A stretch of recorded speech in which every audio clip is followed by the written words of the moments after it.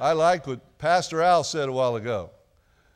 I was glad when they said unto me, Let us go into the house of the Lord. Amen? Amen?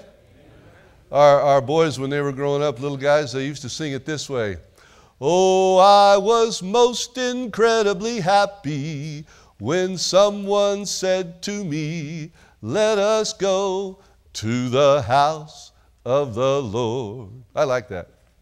I didn't sing it right, but I like it anyway. well, it's good to be alive in Christ because anything else is dead, is death. Back in just after, or just, just as Moses was about to go to his rest, he had commissioned Joshua and told him, that what they need to do and how they would need to go to the River Jordan and have the priests that were carrying the Ark of the Covenant to step down into the water and move on into the promised land. They'd been 40 years to the day wandering in the wilderness. And that was after they had been 430 years to the day that God promised Abraham that your children will go down into Egypt and they will suffer there. They will be oppressed there. And then he says, but I, will, but I will judge the people who oppress them, and then I will bring them back. And he had told Abraham there in Genesis 15 that he was going to inherit this promised land where he was standing that day when God talked to him. And he was going to inherit the, that promised land, the land of the Ammonites. But he said, They have not filled the cup of their iniquity. He said, But you will come back. God knew that that society would reject him completely to the point where the children would have no hope of being able to know their Creator and their God. And we're going to be looking at that some as the, as the days roll by and as the weeks pass here in, on Sabbath. So, there's the map, uh, uh, one of the maps of Joshua and Caleb's entry into uh, the promised land. They crossed the Jordan here, and they went over and did battle with Jericho. And that's where Achan stole some gold and some fineries and wasn't supposed to get anything out of Jericho, but he buried it in the bottom of his tent, and he wouldn't confess it and wouldn't admit it and they had to cast lots, and it fell on his tribe, and finally on his family, and finally on him, and on his tent. God was leading his people to be faithful and to obey him. The interesting thing is, most people think that was a different God in the Old Testament than the one we have in the New Testament. But the fact is, in, in Hebrews 13, the Bible declares Jesus Christ is the same yesterday, today, and forever. And Paul says it was Jesus that was with them in the wilderness before they went into the promised land. He said, He was the pillar of cloud by day, and He was the fire by night. Jesus was there. He was the rock. He was the one that spoke.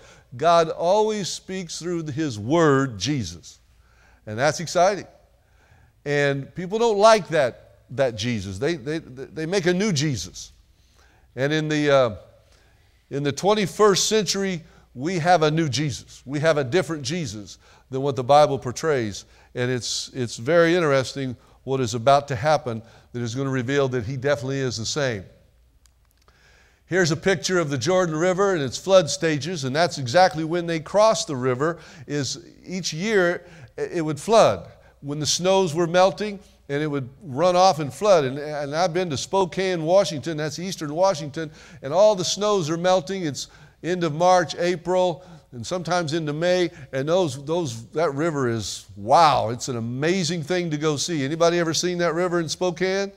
Oh man, it's beautiful. It's the great Northwest. It's worth seeing. If you go, go in the springtime so you can see that river. And I've, uh, I've walked through that river when it wasn't in flood stage, but uh, here's another picture of the Jordan River. Here's a picture of, of what an artist's depiction of what it looked like. Now, Anybody ever tried to walk through a river when it's in flood stage and when the, when the water's running fast? Anybody ever done that? Well, I've done it and regretted it. I've left blood in the river before, of uh, getting knocked down. And this one was only, it was about that deep that day. and I thought I could walk through it. And that water was moving, and water's powerful, and it knocked me down. And, and I've had it happen twice. I don't think I'm going to cross any more rivers until I get to heaven.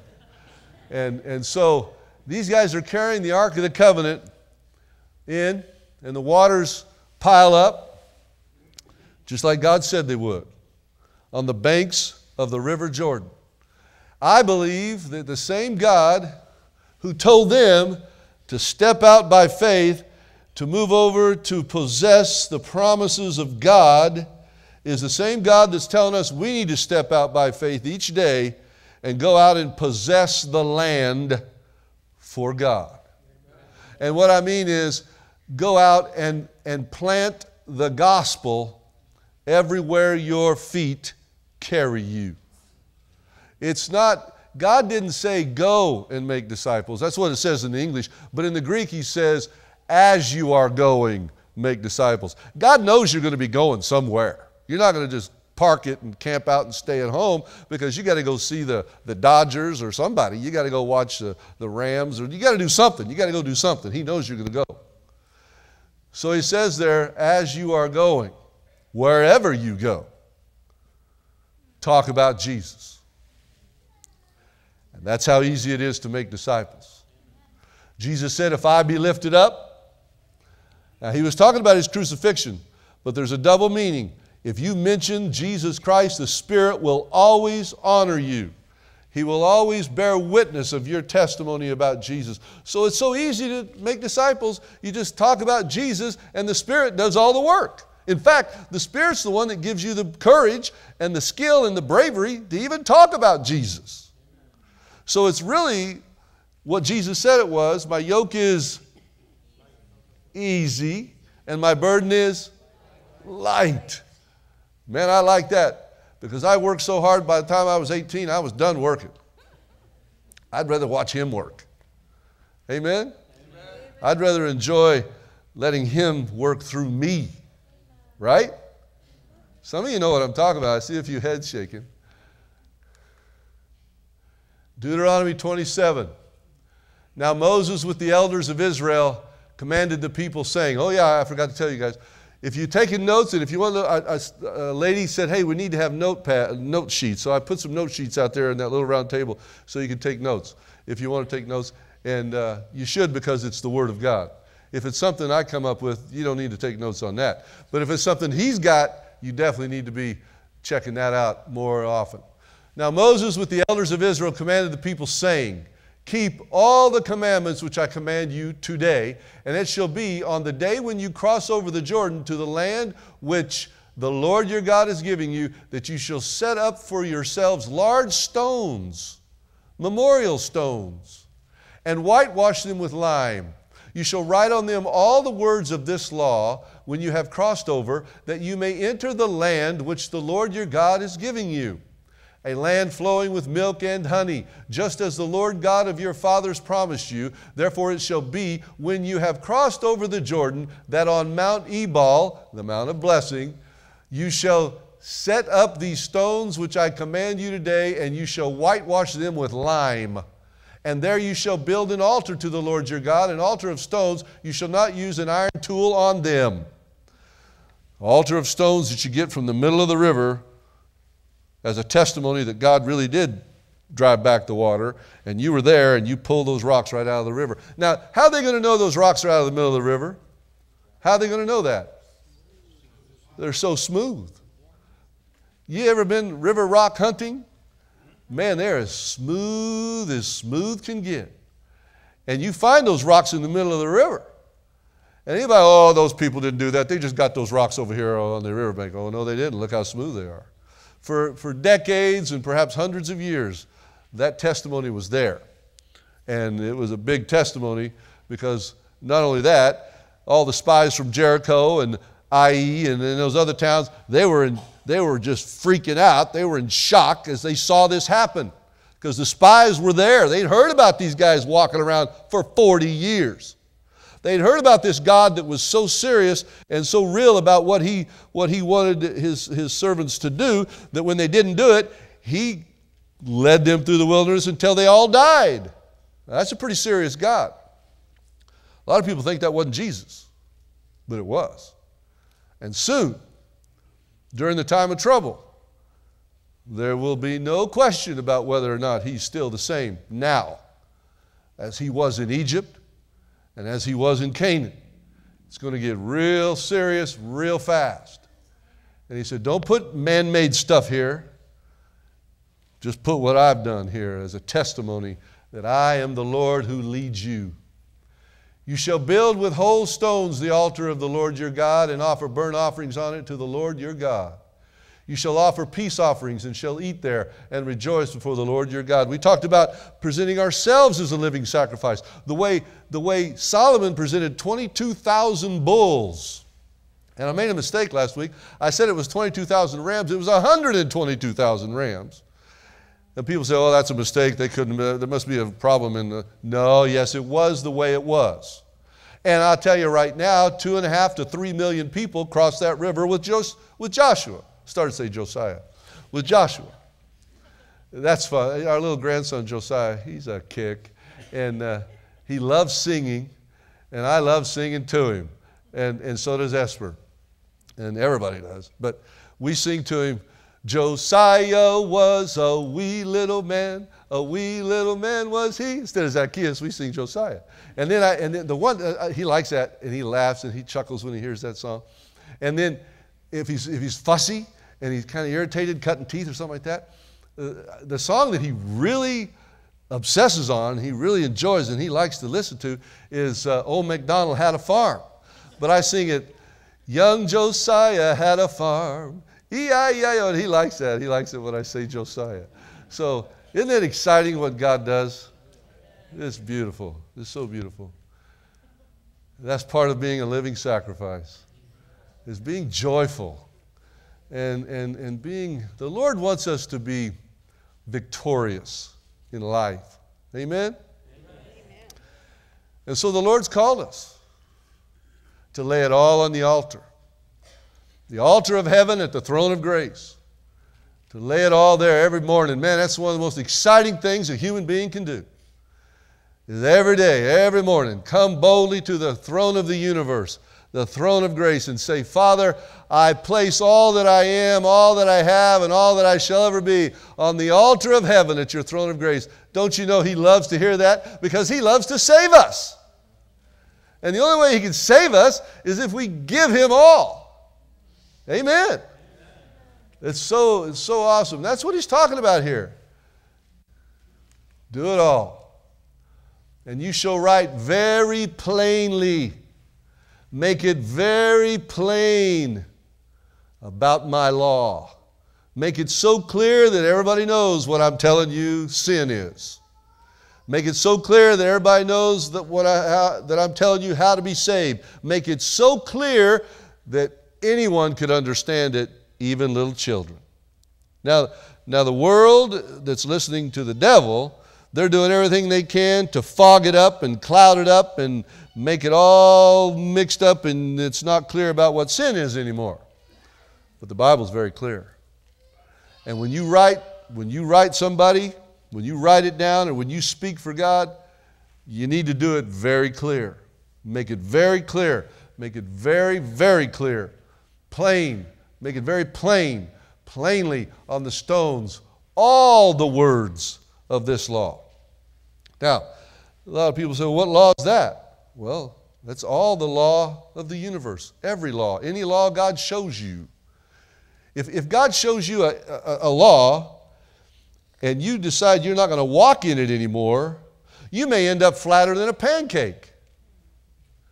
If God, if God reveals, say you're, say you're seven or eight years old, and you become aware of the law of gravity, and you decide you're not going to obey that law anymore, you're going to be Superman and jump off your house, your roof you're Superman. You got a cape on, the whole deal. You could jump off that, and that law of gravity ain't got nothing on you. You the man, or you the woman, Wonder Woman, or whoever. And you jump off that, that house, you're liable to get a broken nose. I'm glad I didn't break mine when I did that. But isn't it so awesome that God winks at our ignorance? Amen? Oh, let me tell you. And it doesn't stop when you're a little boy or a little girl. I was, we added on a addition to our house when we lived in Keene, Texas. And it, these, in Keene, Texas, they got these huge, steep, real high, steep roofs. The pitch is amazing. You'd think it snows there or something, it hardly ever snows there. But they've got the, and the reason is it gets so hot in Texas, you need to have somewhere where the heat to go, and it's way up high in your attic. If you have a low attic, that heat just whoosh, down against the floor of your, of your living room. So they build these real high roofs. And I was adding this on. We had this, and I was putting the last nail into the sheathing, you know, the, the roofing, the sheathing. And I had this big, big, giant framing air gun. I should have had a small, smaller gun, but I was using my big one. And I was hanging on to the, what do you call that? The gable, the top? Hanging on? The rib, the ridge? Yeah, the ridge. Yeah. I'm just a rookie. So I'm hanging on to that thing, and I'm, I had to reach around because I didn't want to get, I didn't have a ladder long enough. So I'm hanging on to that thing, and you know that, that sheathing is real slippery. It's real, it's, it's slippery, slippery. And I'm hanging on there. I don't have any gloves on because it's slippery if you have gloves, so I'm hanging on. And I had to reach way over to get that last nail. Went, thump. And that thing, those things are powerful. There's a big one with the big, the big chamber, thump. And it pulled me back enough, whoo, I slipped off that thing, and I was on my way down. And I was, I don't know, 45 feet up. That, that thing was high. And I'm headed down fast like this with my face against the building. I thought, that's not going to work. I rolled around real quick and I'm looking and I'm going fast. And I remember there's a sawhorse down there. In fact, there's two sawhorses. And that's not good. And I remember, so I put my hands down to try to stop myself and I burned blisters on both hands. That's not working. So I let that go and I was picking up speed. And if you think God's angels do not camp around about those who fear Him, you've never been on top of a Texas roof. and it had a little skirt thing on it.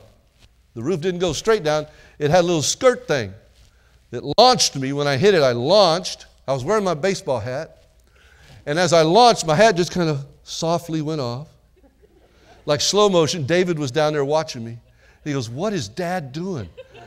I, I, know he's crazy, but why is he doing this? He thought I was doing it on purpose.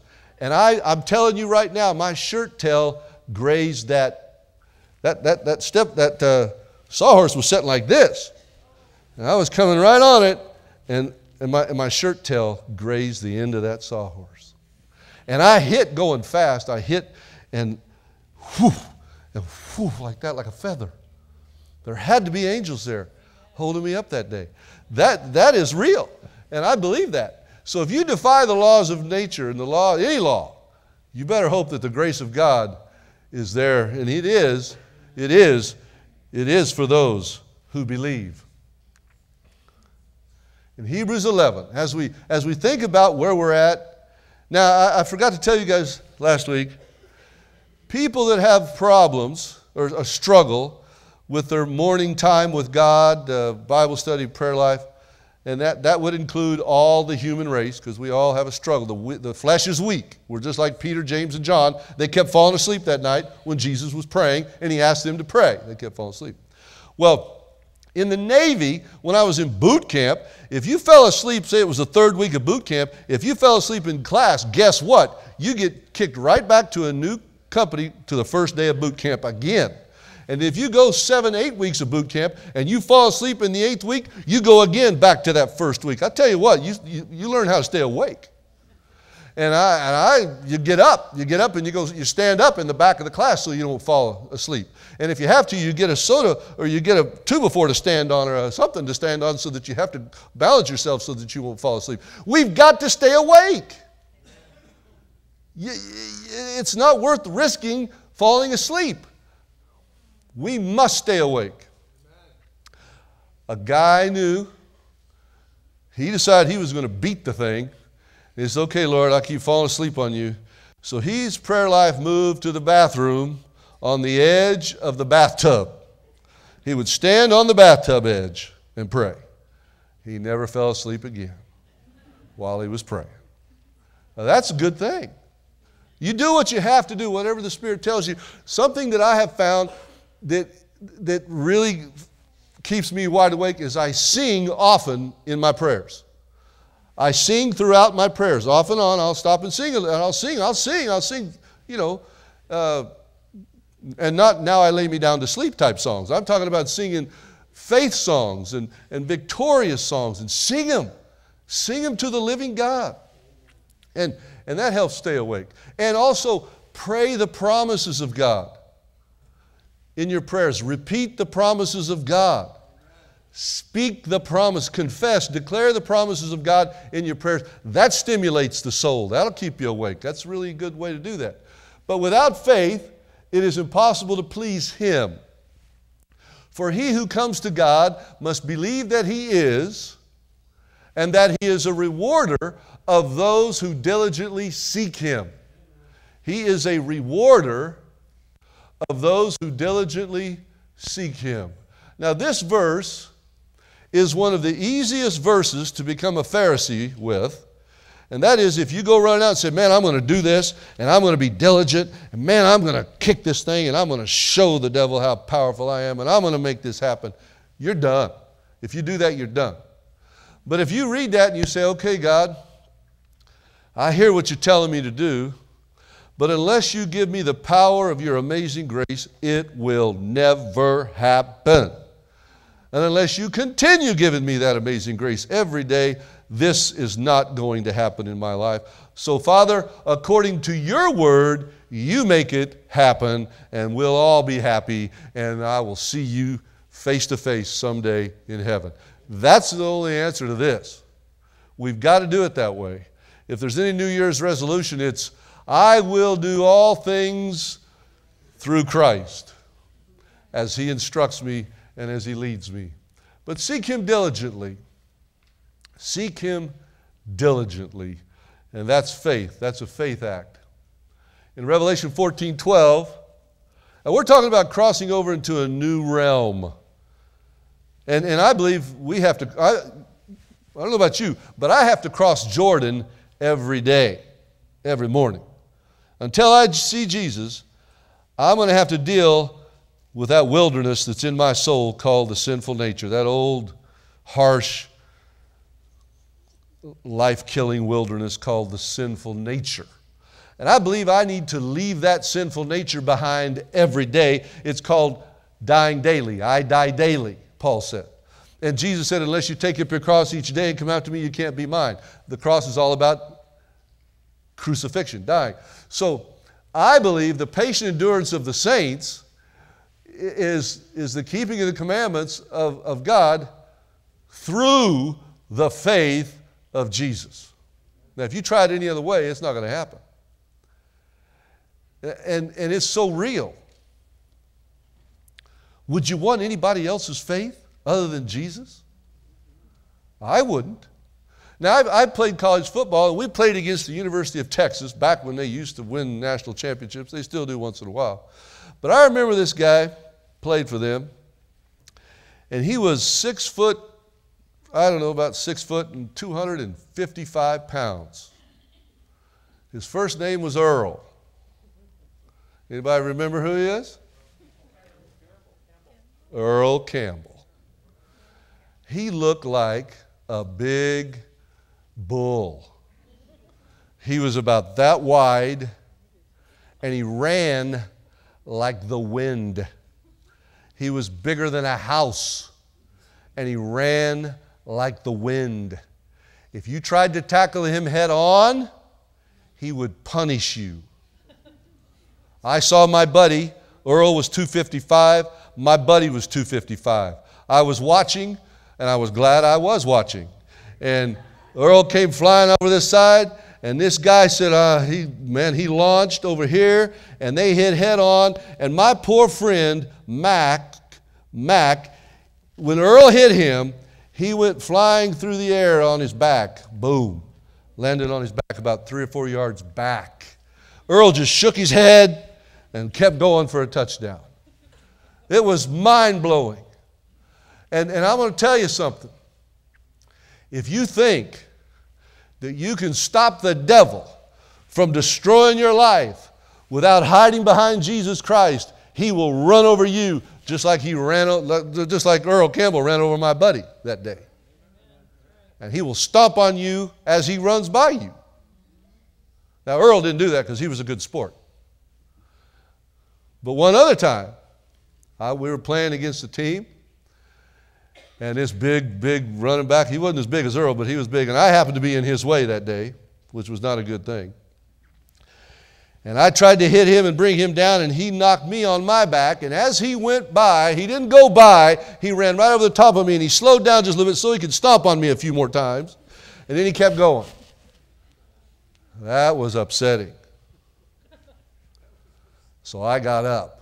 So if the devil knocks you down, don't you stay down. I got up, and man, I got my eyes on him and he was dodging all the defensive backs and the cornerbacks and the linebackers, and he was waving and waving and trying to get to the uh, touchdown. I said, No, sorry, buddy. And I trailed him and I tracked him, and they were bouncing off of him like he wasn't even like they weren't even there. I mean, these guys were just bouncing. This guy was headed, and I came in behind him and I hit him right in the back. Boom! I planted his face. Boom! Right in the mud. Amen.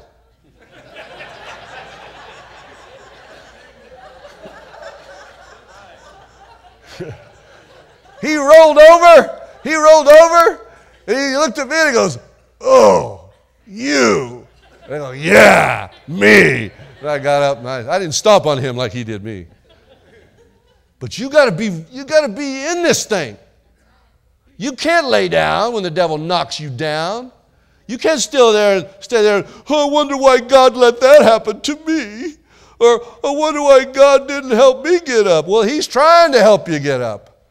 But you're listening to that other garbage. God says, Get up again. He says, Get up, I'll help you. Let's go, let's get up, let's go, let's go.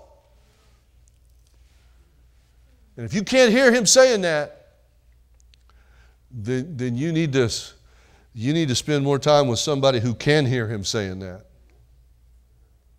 Do you hear what I just said? If you can't hear him telling you, get up, let's go, let's get this done, if you can't hear him saying that, then you need to start hanging around people who, who, are, who do hear him. And, and it's obvious that they hear him. And let's get her done. Amen? Amen? Wow. You know, I bought a motorcycle about 10 years ago, 12 years ago. It was a Kawasaki 650 dual sport. I think it was a six speed. I don't know. Do they make six speeds? Yeah. It was a six speed. That thing was so powerful, it was like a rocket. And it was more powerful than I could handle. And then my son got on it one day and he ran it up to about 110 mile an hour on a dirt road. I sold it the next day. So I may, I may, can, can you wear one of those things if you don't own a motorcycle? Okay. They won't, they won't make too much fun of me? All right. Because I like those, I, I like those motorcycles, that, especially Jesus number one. And then that thing on the back. Man, stand up, Terry. I got to look at that again. That is so beautiful. Look at that. Sabbath Keepers Motorcycle Ministry, Seventh day Adventist. Jesus is Lord of the Sabbath. Wow. That's awesome.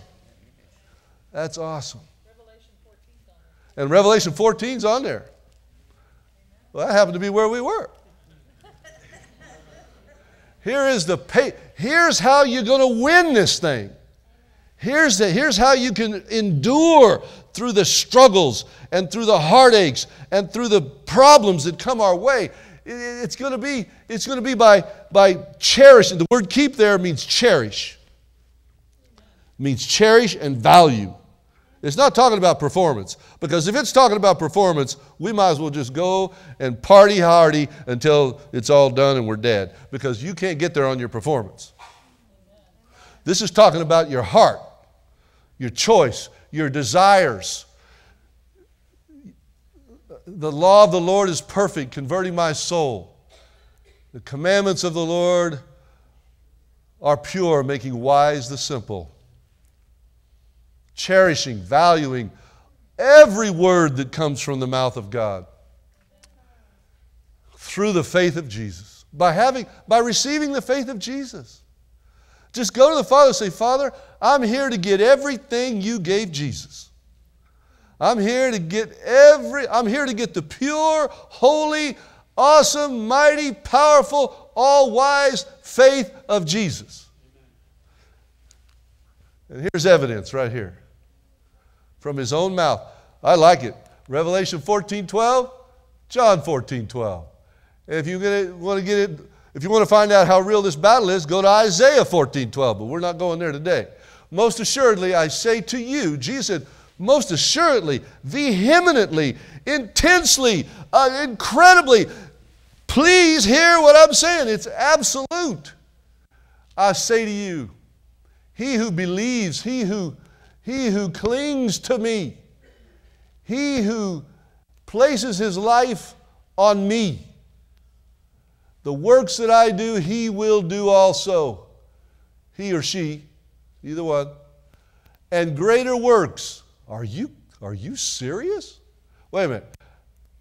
So I'm going to do the works he did, and in greater works than these he will do, because I go to my Father. Wow. That's off the scale. Now that's what he said. And the next verse is cool. I don't have it up there, but the next verse is, it tells you how, why, how this is going to happen. He says, Because I'm going to be at the Father's throne praying for you. Can't ask for anything more than that. And here's what John's testimony was about it. But as many as receive Jesus, it's so easy. He says, My yoke is easy, my burden is light. All you have to do every day is receive Jesus.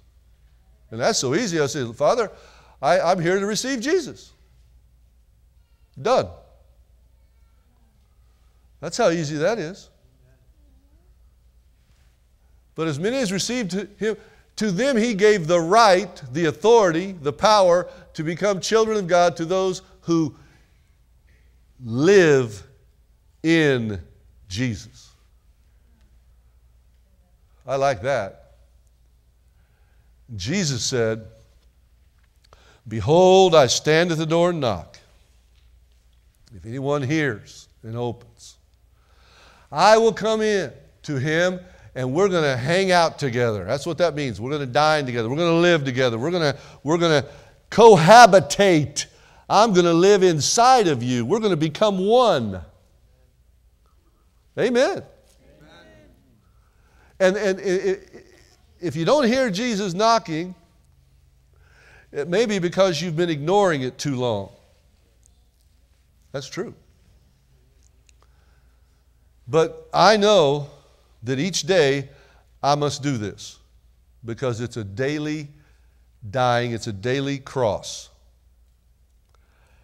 Uh, when I first became a Seventh day Adventist, that pastor told me, it's actually in the baptismal vow, how that, how that you're making a commitment to spend time and develop a devotional, a daily devotional life. I thought, well, sure, why not? You know, yeah, I agree to that. I found out pretty soon it was a lot more difficult to do than it was to say. Anybody hear what I'm talking about? Now, it's exciting to see the church this full. It is. You know, us humans, we need to be encouraged, right? I mean, how long would you go to a church if the church only had four people attending and it had this many pews? Now there's some tough there's some tough soldiers out there that can handle that, but not very many people can handle that. And um, I remember uh, one of the first times I ever preached in a church, not the first, but one of the first times, a guy, he was an oil well driller, and he couldn't, he was a lay pastor, and he, and I was young, I was real young, 21, 20, 21. And he said, I can't go to my church to do prayer meeting tonight. Could you do that? And I go, sure, yeah. And, and I thought the church would be full. You know, I'd never been to his church, but I thought, well, it'd probably be, I mean, this guy's an awesome guy. He loves the Lord, probably has a cool church. I went to the church, and at prayer meeting time, there was two people, and I was the third. And it was a, an elderly couple in their 80s, 90s. The lady was, she couldn't hear. She literally could not hear. And her husband slept the whole time. And I had a message like you couldn't believe. Man, did I have a message because I was ready to tell them, tell them about Jesus. Give it to them. Start a revival. Shake the world for God. And I got there and it was time to start, and there was only two, and he was already asleep before we started. And she couldn't hear. But I remembered something an old time missionary told me one time. He said, Paul, he said, whenever you stand up for Jesus, you preach for heaven and you preach for anybody who might be hearing. He says, and you preach as if the house is full. Don't you get discouraged. Don't you let people's uh, neglect or uh, negligence, don't you let, don't you get discouraged because people aren't supporting whatever God's doing. You preach as though the house is full. Amen. The Holy Spirit reminded me of that. And man, I preached a sermon and nobody heard it except me, the crickets, the mice, and whoever may have been walking on the sidewalk by the church that night. And Jesus. But he tested me that night. And if I had just done some halfway thing, just done a halfway deal, well, she can't hear me and he's asleep, blah, blah, blah, blah, blah, let's go home. I know that God watches to see whether or not He can promote us to the next level. And He's watching every morning to see who He can promote, to see who He can elevate, to see who, who He can tell more information to, to see who He can lead to a higher level, a higher plane. He's watching to see if He can do that for you. But if you don't take care of the first basic elementary grade school stuff, he'll never be able to promote you to the next level. It's not that, you know, God's not keeping score so he can call you out and send you to the dugout. He's watching to see whether or not you're going to let him lift you up to the next level. So we're on the banks of the river every morning. And, and we get tired of doing the same thing over and over and over. We get, we, get, we get bored if we have to do the same thing over. A lot of humans, we get tired of that. But I want to tell you something. If you get tired of coming before the, the, the creator of the universe and ask him to renew his salvation in your soul every morning, if that, if that is not exciting enough for you, then you and I need to have a talk. It's the most exciting thing you could ever do. Is to meet him at the throne of grace and engage that cross of Calvary. Take hold of Jesus and have that new experience. Sean is going to come and sing a song right now. And may God bless us as we hear this testimony from this beautiful song. It should be. It's the yellow mic. Yeah. Okay. I just wanted to say as we as we are allowing God to move us to the next levels in our life in this new year that you might not always it might not always be easy. And you might be standing at that river, at that bank, and just know that no matter what, you have to declare in Jesus' name that He's going to fight that battle for you. You have to say that I already have the victory because I'm not going through this river by myself, I'm going with Jesus. So, this song, God actually brought it back to me last night, and I haven't heard it in years. And it's actually a song about 10 years ago when I was in nursing school, brought me through nursing school, through every exam, every test. And now that I hear it now, it, I hope that it blesses you as well.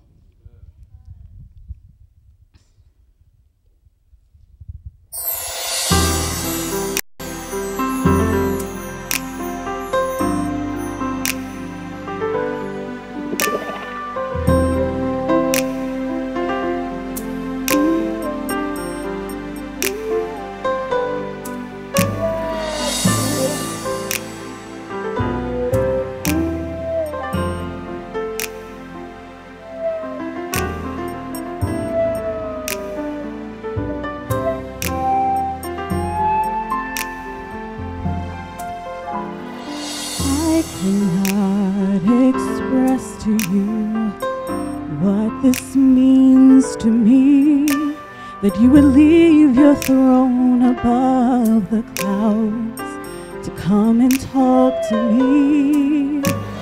So much has been going on that I don't understand. But when the weight seems so heavy, I listen closely. I'll hear you say, I'll fight your battles. I'll hear you say, You are not alone. Oh my God, hold me close to your heart into my soul. Oh, now I can look back and I remember oh, your faithfulness to me always the same. Take my hand, walk me through this journey,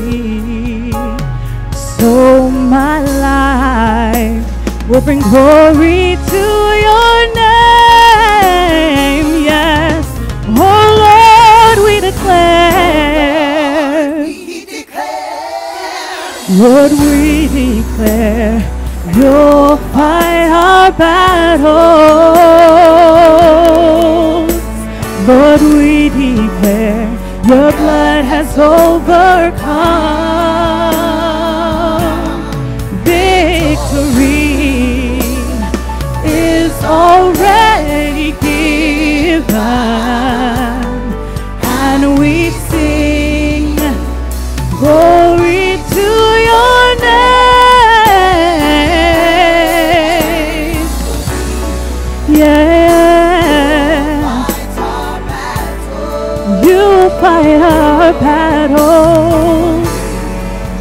Jesus. Not in my power, but in your power, only by the blood. Victory. You're so awesome. Yes, you're wonderful. Thank you, Jesus. Glory to your name. You can sing with me. Lord, we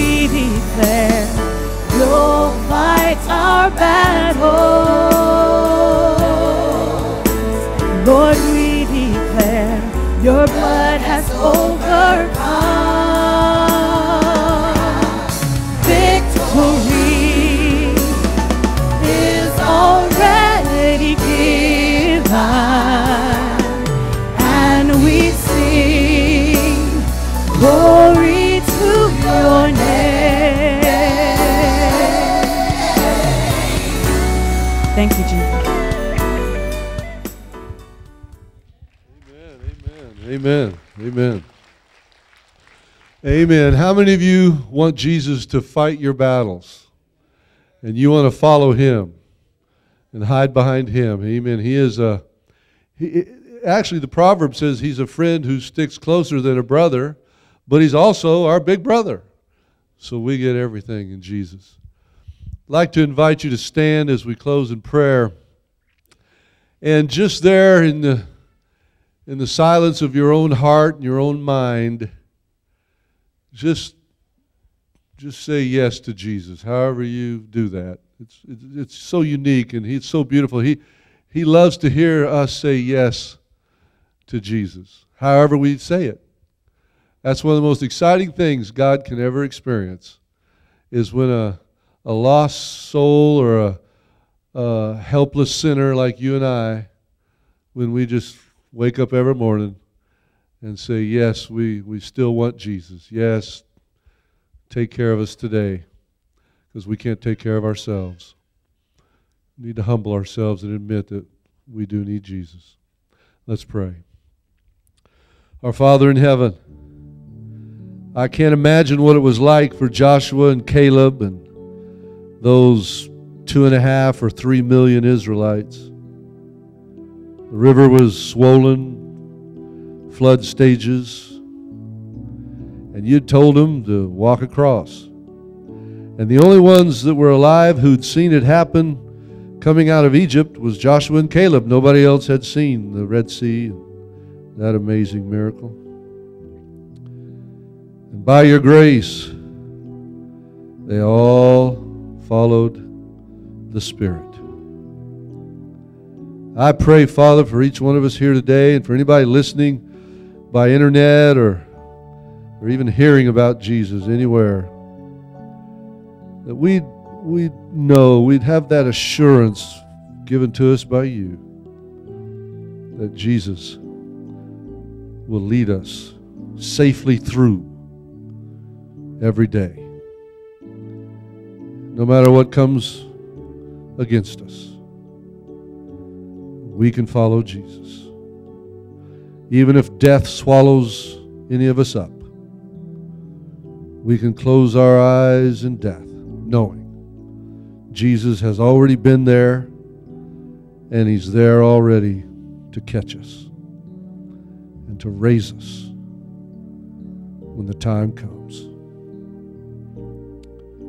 We love you, Lord. Thank you for creating us to be able to love you. And thank you for creating us to be able to receive your love. Teach us, empower us, lead us to those who do not know your love. And may they experience your love through us, is our prayer. In Jesus' name, amen. God bless you as you go. Jesus is coming back.